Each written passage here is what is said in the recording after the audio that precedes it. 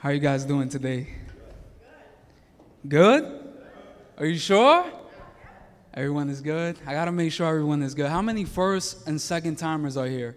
First, second timers, third timers? Raise your hand. I want thank you for coming out.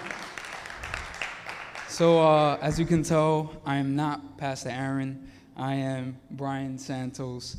And um, thank you, thank you. Um, but yeah, we just want to welcome you to church, and um, we hope and pray that this will be a home. And um, and if it's not, it's okay. We just pray and hope that you leave out of here not the same way you came in. Um, and right now, I'm just gonna pray um, before I start getting into the Word because I need Jesus. I don't know about you guys, but I need Jesus. And, um, and I'm desperate for him. So, Father God, I just pray at this moment in the name of Jesus knowing and understanding that you are in control of everything, Father God. And I just pray that every word that comes out of my mouth will be able to just minister to the hearts that are here. And most importantly, to glorify you, Jesus. So I pray at this moment, knowing and understanding, God, that since you still speak, that the Word of God isn't necessarily just a historic book, but it is living and powerful it still speaks today. God, I just pray that you speak. In Jesus' name, amen. Amen. How many are excited to be in the house of God? Amen. So, like I said, for those of you who don't know me, my name is Brian Santos, and I'm actually one of the youth pastors here. Um, and um, yeah, I'm just here because um, Aaron is taking a break, which is definitely well needed, especially since he's the pastor. Also, he has six kids. And yeah, enough said. Um, but yeah, I love Pastor Aaron. I actually want to thank him and, um, you know, just the elders here for giving me the opportunity to speak the word of God. It's funny, the first time I ever gave the word in this church, in my head, I'm like, man, these elders never heard me preach a word. I could say whatever I want. Um, not really. but you know, just the fact that they gave me the opportunity to share the word, man, it's it's truly an honor to share the word of God. So, yeah, I'm excited for this word, and I pray and hope that you guys will leave out of here not the same way that you came in, because I believe that God guided your steps to be here this morning, whether you like it or not, whether you feel like He did or not. Guess what? He did and you are here today, you are trapped. You can't go anywhere. All right? And if you leave, we'll track you down. Just kidding. But yeah, we love you, church, and thank you for this opportunity. So, for those of you who have a Bible or maybe a Bible app, and if you don't have a Bible or Bible app, we'll have it up at the screen here. I'll be reading out of Matthew chapter 4, verses 18 through 22. Anybody got Bibles? Anybody wants a Bible? Do we have physical Bibles by any chance? Anybody wants a Bible? Can raise your hand right where you're at. Nobody wants a Bible? That's okay. All right? So, like I said last week, you know, um, it's crazy. This week passed by so fast. Anybody feels like that? Like this, man, felt like yesterday I was up here. I was like, man, I got to prepare for the sermon. um, but yeah, Matthew chapter 4, verses 18 through 22. And if you want, you can take notes. It says, One day, as Jesus was walking along the shore of the Sea of Galilee, he saw two brothers, Simon, also called Peter, and Andrew, throwing a net into the water, for they fished for a living. Jesus called out to them, Come, follow me, and I will show you how to fish for people. And they left their nets at once and followed him a little, a, a little farther up the shore, he saw two other brothers, James and John, sitting in a boat with their father, Zebedee, repairing their nets. And he called them to come too. They immediately followed him, leaving the boat and their father behind. What a way to end the story, right? Leaving their father behind. If I was their dad, I was like, thank you. Yeah, all right, bye. You, you're not going to invite me? But to give you a little background of this story before I get into this, there was a guy named John the Baptist in the previous chapter, chapter 3, where he says, I'm not the light. Don't look at me as if I'm the light. Don't look at me as if I'm the hope. No, I'm actually making a way for the light. I'm making a way for hope in Jesus Christ. So John the Baptist ends up making a way for Jesus, and not only that, but ends up baptizing Jesus. To then end up being in the wilderness, Jesus being in the wilderness where he was tempted and tried close to the Jordan Valley. After the wilderness, Jesus begins to preach in the surrounding areas where eventually he encountered a fisherman, where I am reading now. So, of course, I love giving facts because every time I read a story, yo, believe it or not, when I read the Bible, I sometimes read it as a soap opera. I'm like, oh my gosh, I can't believe that happened. Like, whoa, I can't wait till the next chapters, you know? Like, you can't wait to Walking Dead for the next season, or that's how I am with the Word of God. I'm like, oh my gosh, wait, you want to talk about drama? Read the Word of God. That's drama right there. But to give you facts, fishermen, then as now, formed a distinct class. The, strenuousness of the work ruled out the weak and the indolent. If I didn't give the title of my message, I apologize. The title of my message is Follow Away. Thank you, Jared. I appreciate you. And who is it? Got you. Yeah, thank you. so, fishermen then as now formed a distinct class. The strenuousness of the work ruled out the weak and indolent. They were crude in manner, rough in speech, and in their treatment of others. James and John, before they became tempered by Jesus' influence, were nicknamed the sons of thunder. I wonder why. In other words, they were troublemakers. The fishermen's exposure to all kinds of, of weather made them hardy and fearless. They were accustomed to hear, to, to bear with patience many trying circumstances. They often toiled for hours without success, yet were always ready to try once more. These fishermen, and to this day, it is actually one of the most overlooked jobs today. Being a fisherman at this time were the most probably despised. Nobody really cared about fishermen. That's what they did for a living. So, what is a fisherman's job? What is a fisherman's job? To catch fish. Good job. So, since it is one of the most overlooked things, one thing that people don't notice is that without these fishermen, a lot of times their families wouldn't be fed. So, without them, there won't be any food on the table. See, Jesus called the disciples, which disciple means follower, believer, and learner. See, a lot of times when we think about follow, we see it as a negative thing. You know, you, you always hear that, that quote where it says, be a leader, not a follower, right? You always hear that. And, and, and in a way, it's like, yeah, that's a good quote because of the fact that a lot of times us as people, we don't necessarily, you know, uh, you know, we, we follow in bad intentions at times, or if not, we just uh, we don't know where to run to so we just go to wherever what's in front of us. Especially teens nowadays you know get caught up in a lot of things. So when we think of following automatically we think man, it's better to be a leader. But in this context, Jesus is saying, hey, come follow me, and I'm going to show you how to be fishers of men, which I'll get into that in a little bit. Being a follower actually means being a supporter, defender, and when I think about defender, automatically I think of Peter. And servant. So, for those of you who are taking notes, My first point in this message is Jesus calls the ordinary. In verse 18, Peter and Andrew throwing a net into the water, for they fished for a living. This is all they knew. They left everything they knew.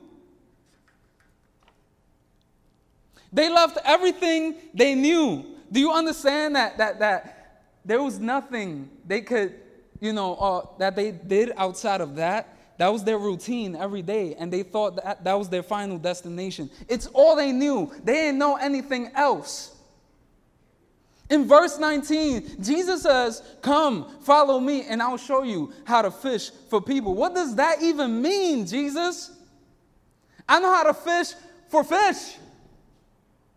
What do you mean, fish for people? But what I realize is that Jesus used a term that they would understand. But also, his presence was felt.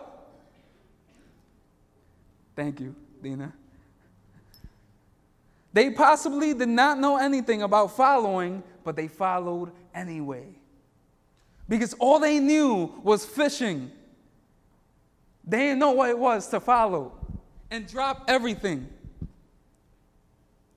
But they followed anyway. I can imagine back in those days, and even till this day, there are people always standing up saying, Hey, I'm the Savior of the world. I'm that, that guy you've been waiting for. And at that time, I can imagine those people dying and not coming back to life, and those people that followed them were disappointed. And I don't know if you guys heard a couple of years ago, this person was like, hey, May, on May something in 2000, whatever, Jesus is coming back. Hey, that 2000 something happened already. Where is Jesus? He hasn't come back, right? So there are many false prophets and teachers so I can imagine the disciples at this moment like, who is this guy that's calling us? But the fact that they left everything to me was mind boggling because of the fact that you don't know him. you don't know the stranger. Why would you drop everything? Why am I yelling? I don't know. It's a good question, right? but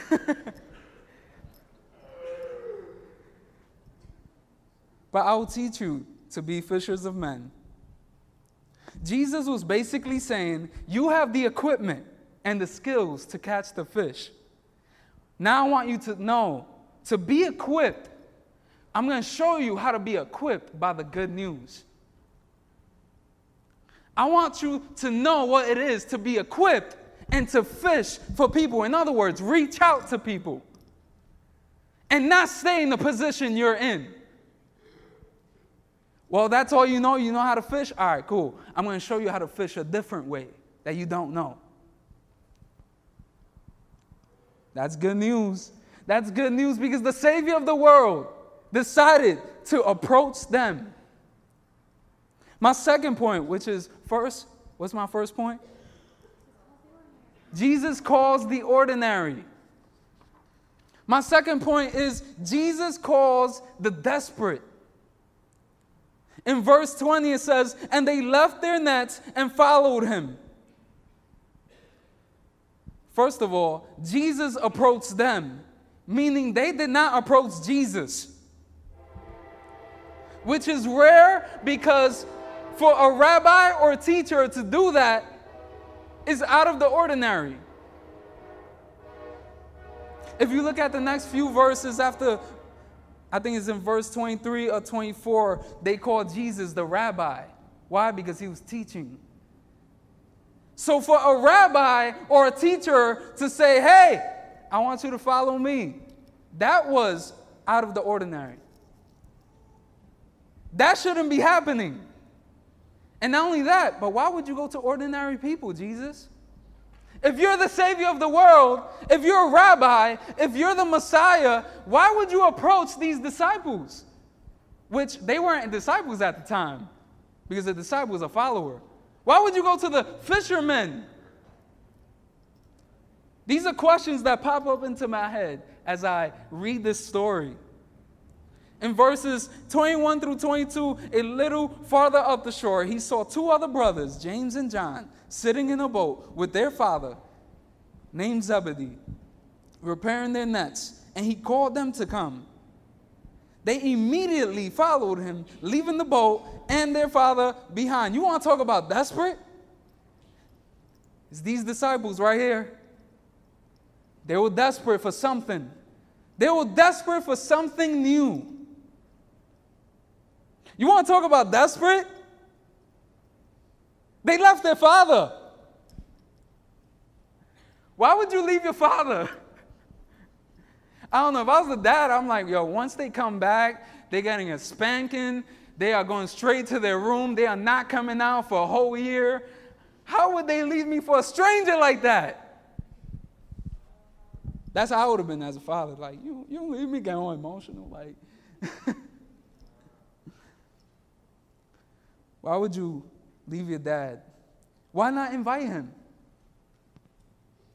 It was an encounter. It was a lifetime opportunity for these disciples. See, it was a lifetime opportunity because of the fact that a rabbi approached them. A rabbi himself approached the ones that he wanted for them to follow him into greater things. So it wasn't just, hey, you follow me. It was actually an encounter. Dietrich Bonhoeffer, which is a German pastor and a theologian, says Christianity without discipleship is always Christianity without Christ. Christianity without followers, in other words. This is what Jesus is, is displaying to these disciples is hey, follow me. Because while this world is saying that following is a negative thing, you're actually, I, I, I want you to see what it is to be a leader. In this context, he's trying to say, hey, if you become a follower, you just might become a leader, which is the case. And this is my last point right here. The follow changed and changes lives. So the first point was Jesus calls the ordinary. Second point was Jesus calls the desperate. And the third point and last point is the follow changed and changes lives. It says, I, I found this, uh, this website where they were saying, you know, they were talking about this chapter, the, these verses specifically. And I love the fact that it says this it says, Jesus' choice of his first disciples were surprising, to say the least. For starters, in that time, religious students chose their mentors, not vice versa. As the famous Rabbi Gamaliel instructed, find a teacher and lose your ignorance. And that was the common practice of the time for those who wanted religious training. Jesus, however, turned that, uh, that custom on its head. Instead of waiting for followers to come to him, he went looking for them. Matthew reports that the first four people Jesus called to be his disciples were Peter, Andrew, James, and John, which we just read. Again, these were surprising choices. For starters, none of these four men were scholars. None were pursuing a rabbinical or priestly training. They were all working class guys, fishermen who expected to spend their lives on the sea. Wait, time out. 30 second time out. Coach, do you understand what, what, what this is saying? They ain't have any training. A rabbi wasn't supposed to do that. He's not supposed to approach. Why he didn't go to Herod's court, which was down the block? Why he didn't go to, to where the chief priests were? Why he didn't go to the ones that supposedly got it all together? the ones have, the, who have a teaching degree, those who are scholars, those who are theologians. Why he didn't go to them? He went to ordinary people like you and I and decided to say, hey, you, follow me. I'm going to show you what the way really means. I'm going to show you what fishing really is. While this whole time you had this job, fishing, I'm going to show you that it's more about yourself. Because in reality, what they were fishing for was themselves. I'm going to show you that it's not only about you, it's about others. And because of one encounter, many encountered. As the worship team comes up, because of one encounter. These same disciples who encountered Jesus for themselves, because of one encounter, many encountered. Because of one follow, many follow. Isn't this what Altered Church is about? Isn't this what the church should always be about?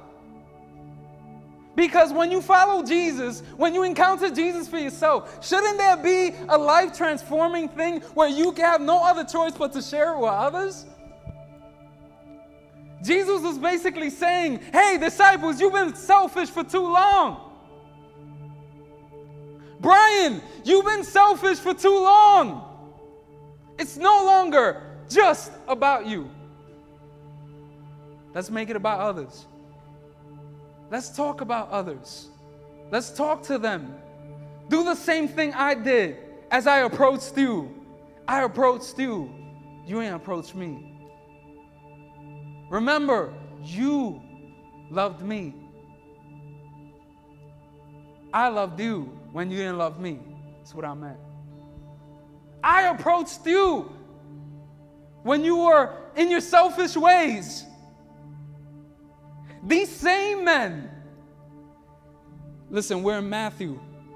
Now I'm going to advance it to, to Acts chapter 4, where it talks about these same men right here that I just spoke about. These ordinary men, these desperate men.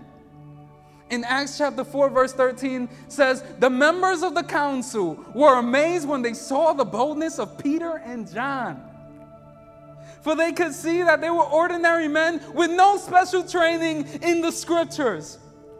They also recognized them as men who had been with Jesus, who had been with Jesus. They encountered Jesus.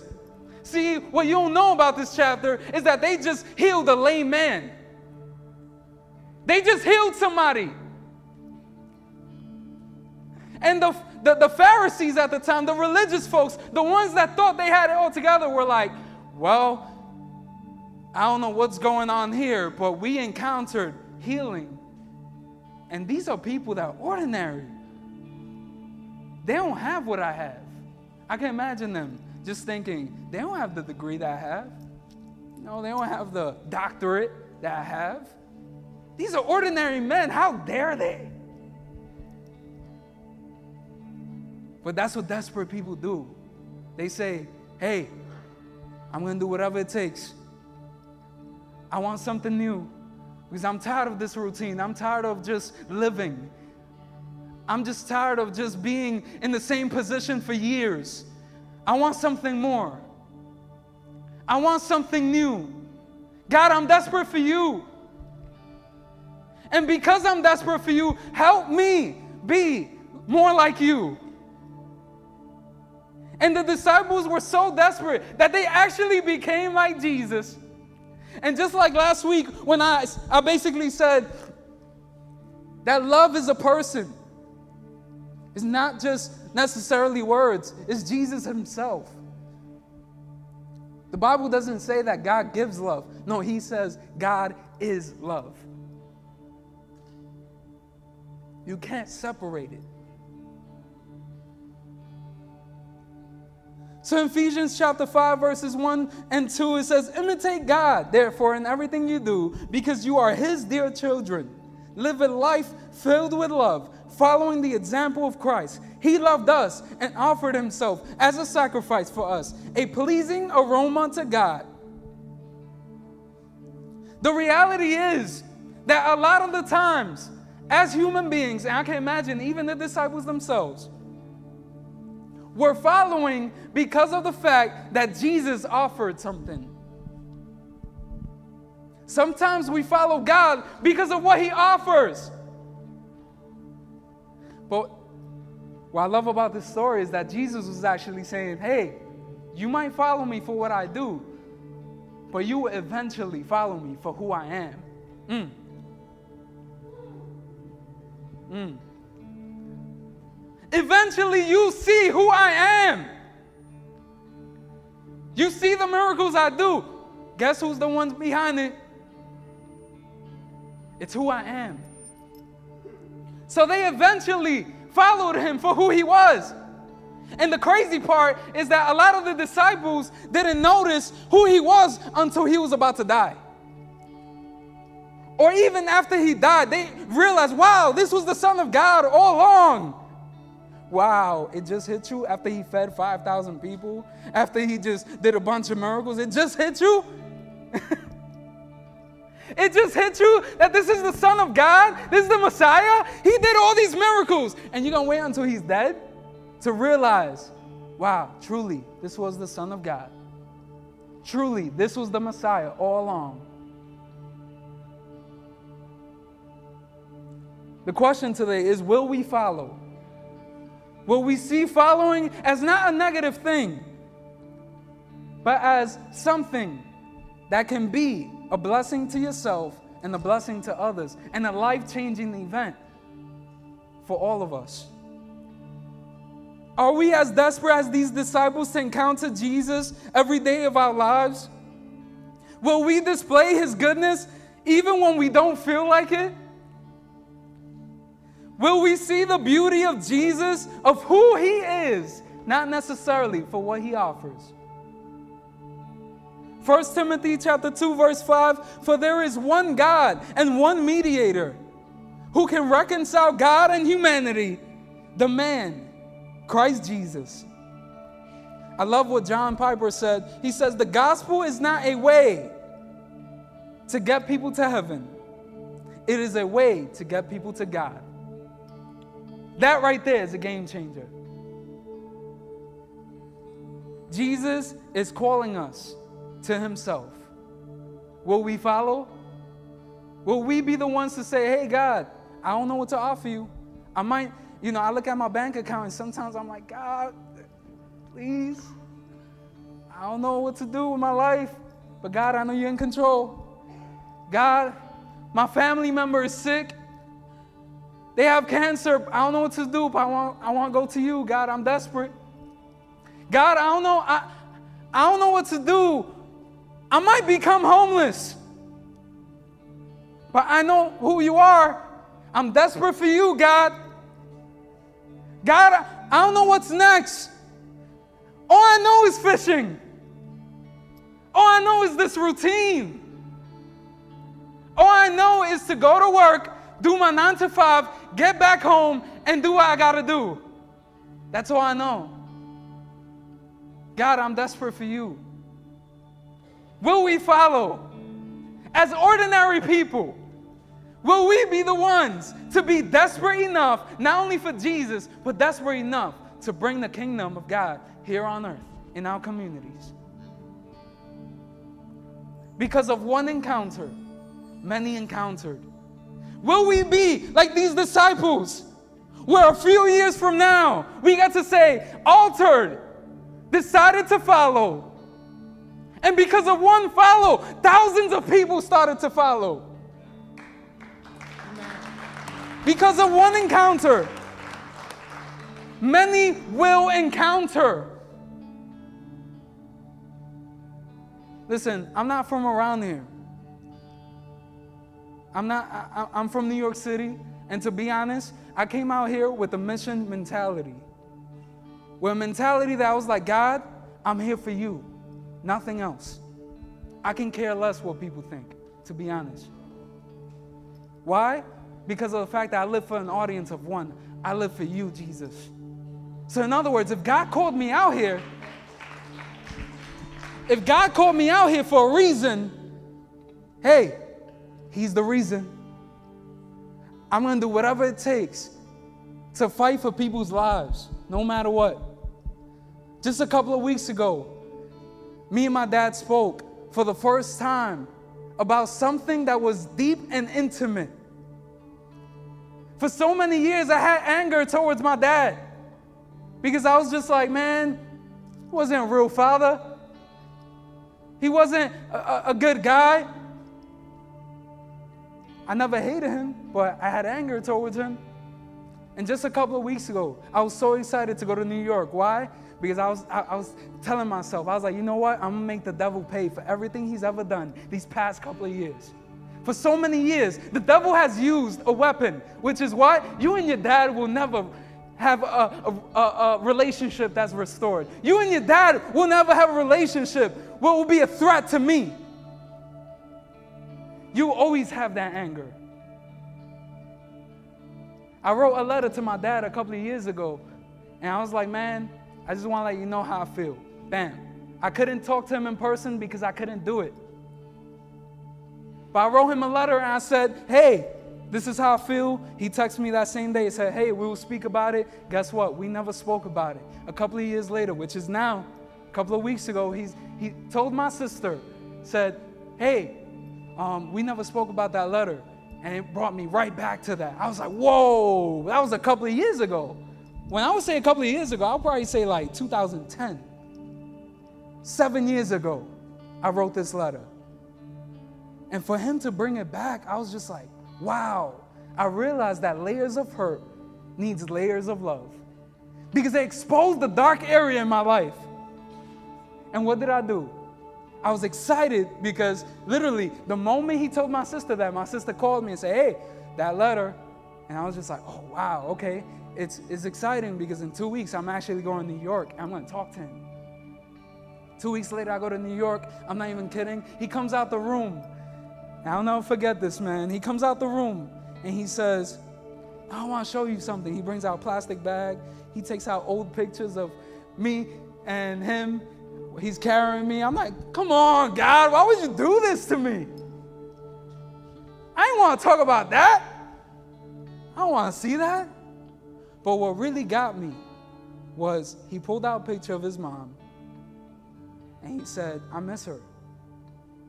And then he kisses the picture, and puts it right back. I ran to the bathroom. I'm not even kidding. Yeah, I was out. I was out to the bathroom. And he was looking at me like, what's wrong with this guy? Just running to the bathroom like that. I started to break down crying. Why? Because of the fact that I don't want that to happen to me.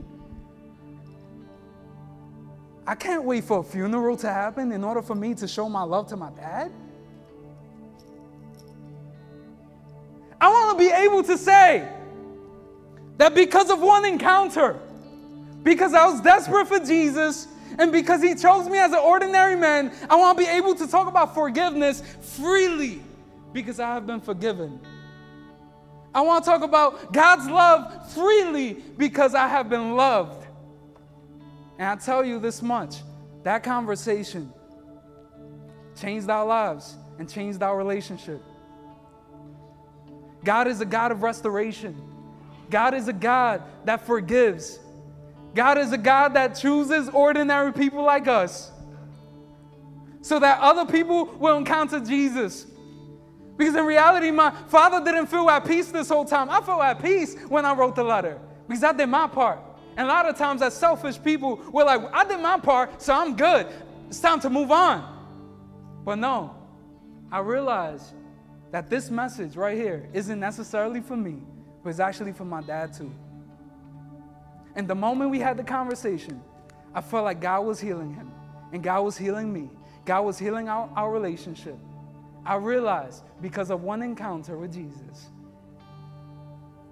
lives are being changed. So I'm out here on a mission to tell you guys and to tell anyone that I encounter that at the end of the day, it's not necessarily about me coming out here. I'm not a big deal. A lot of the times, our preachings and the way we speak can be very overrated. But the Holy Spirit, a lot of times, could be underrated. Let us not focus on what Jesus offers. Let us not focus on what Jesus can do. But let us see who He is. Jesus is the Savior of the world. I want you to bow your heads and close your eyes as I close.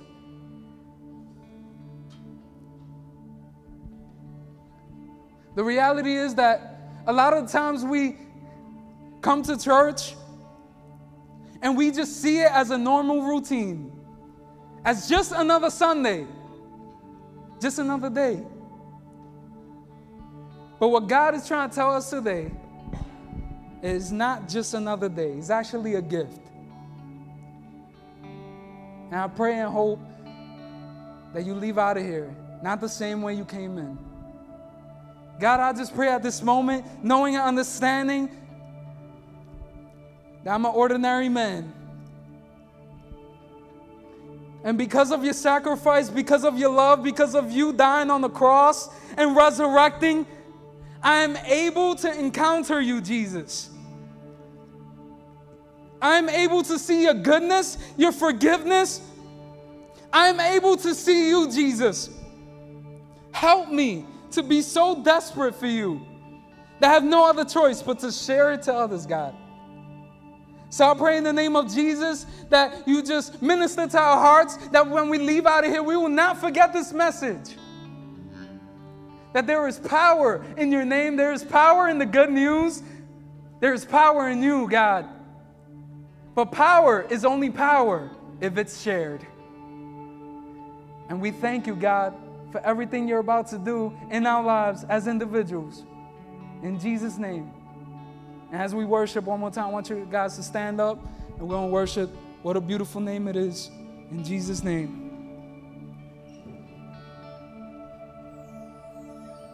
Death could not hold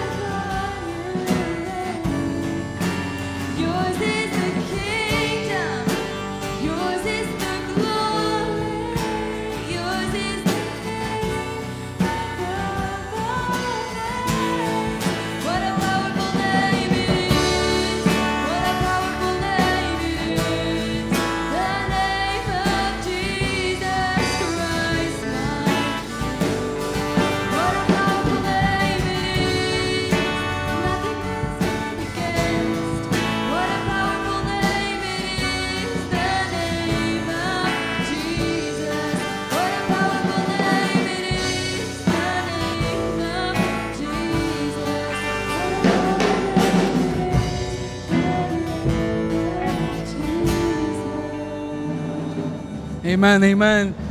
How many can give it up to God? God. So before we leave, I just want to encourage you guys. We're always, every Sunday, we're going to have people on the side here. You know, don't hesitate if you need prayer. You know, we're here to pray for you. You know, um, don't hesitate. And um, we just want to thank you guys for coming out and um, just be desperate for Jesus. That's all I can tell you. In reality, is that this life is hard, but Jesus overcame it. And that's that's the important thing is that we can rely on him. So I want to encourage you guys to go out for some prayer and we love you church. I'll see you next week, all right?